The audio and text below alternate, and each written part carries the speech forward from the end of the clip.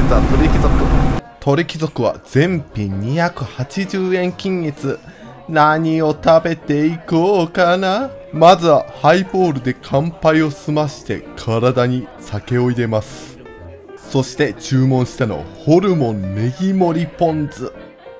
コリッコリしててポン酢であっさりといただけて最高にうまいです。酒が進むわ。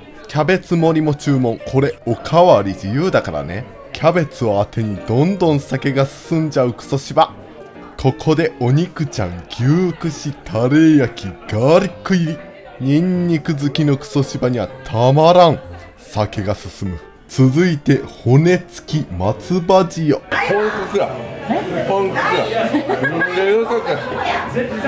付きって書いてあるキャベツで気持ちを落ち着かせよう。それしかない。ここでふんわり山芋の。鉄板焼きクソ芝の大好物だけど今は食べれないダイエット中だから。おお一気に減ってきたね。もう一回食べたい。もう一回食べたい。そらね。これ美味しいよね。美味しいの知っとんねん俺。そんな焦げもたまらんでそれも知っとんねんクソ芝。この気持ちは酒にぶつけるしかねえクソ芝。酒がある意味進んじゃう。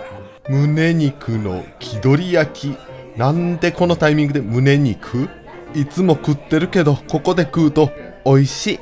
続いてもも肉ゆかり焼きです。さあ相性はいかに？別にゆかりいらん。うん言うと思った。またまた酒が進むぜ。ついつい飲みすぎてしまいます。油が超ジューシーな手羽先です。これはねもうね美味しいね。美味しいね。これクソしばむっちゃ好きやね。あーまたまた酒が進む骨の周りについてるこの身をしゃぶりつく。これがうまい。そして最後に一番大好きなチューリップ。サクサクの衣を噛みちぎると中から油がジュワッと出てきて。